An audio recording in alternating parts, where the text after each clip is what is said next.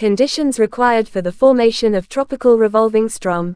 Largest low pressure, adequate amount of Coriolis force, warm temperatures of ocean, sufficient depth, relative humidity, potentially unstable atmosphere, limited vertical wind shear, largest low pressure, pressure must be lowered with greatest value and this low pressure area must be surrounded by areas of high pressure. Coriolis force, for a TRS to form, there should be adequate value of Coriolis force, as Coriolis force is minimum or negligible at equator, TRS. Does not form within 5 degrees latitude from the equator. Warm temperatures of ocean, an ocean temperature of 26.5 degrees Celsius is the minimum requirement for TRS formation. They are necessary to fuel the heat engine of the tropical cyclone. Sufficient depth, warm ocean water must exist over a sufficient depth of at least 50 meter. Relative humidity High relative humidity should be present in the lower to middle levels of the troposphere.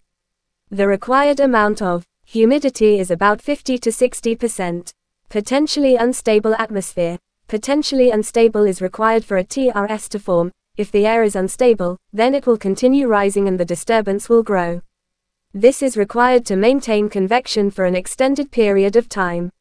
Limited vertical wind shear. For tropical cyclone formation vertical wind shear should be less than 10 meters per second between the surface and the tropopause. Strong wind shear can blow the TRS apart. Low cyclone is the isobaric pattern of TRS. Low pressure is surrounding by high pressure. Pressure gradient is very high. In low, the isobars are closed shape, wind converge in low. In northern hemisphere the wind direction is anticlockwise and in southern hemisphere the wind direction is clockwise. There are formation of various clouds and which leads to precipitations.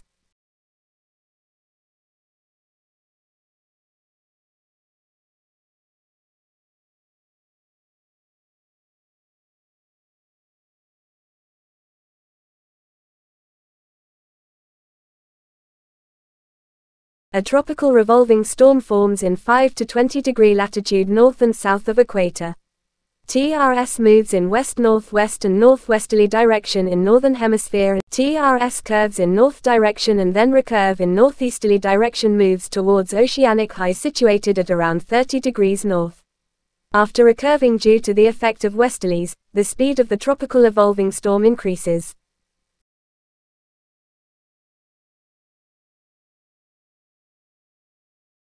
In southern hemisphere, TRS moves in west-southwest and southwesterly direction in southern hemisphere.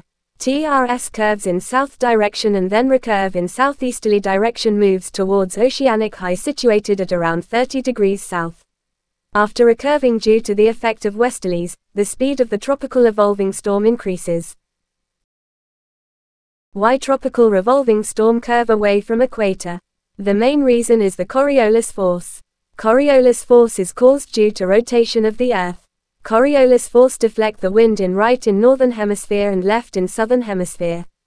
Coriolis force is minimum at equator and as latitude increase, intensity increases as latitude increases and is maximum at poles. Coriolis force deflect the TRS in right in northern hemisphere and left in southern hemisphere and taking it away from equator. For a formation of TRS, adequate value of Coriolis force is required. Intertropical Convergence Zone ITCZ is a low-pressure area at equator which moves as declination of sun changes. Is ITCZ a equatorial front? ITCZ is not a equatorial front because there is no formation of a front.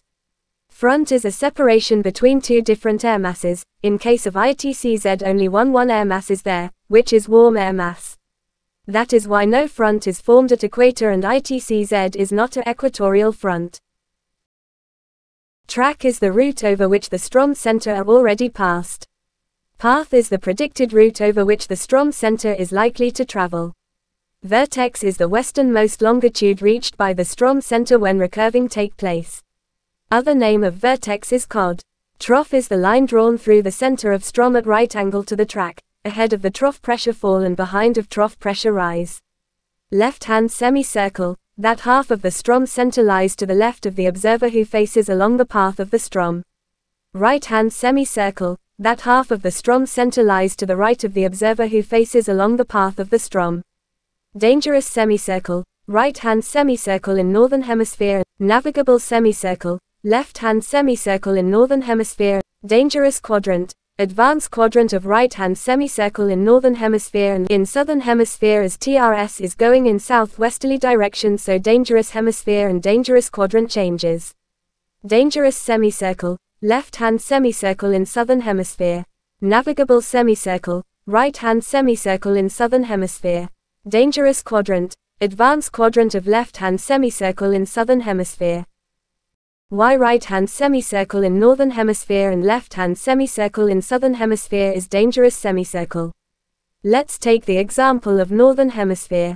As wind being anti-clockwise, it will push the ship close to Strom center and while TRS is also moving northwesterly direction in northern hemisphere, ship will come close to Strom center, that is why right-hand semicircle is dangerous semicircle in northern hemisphere.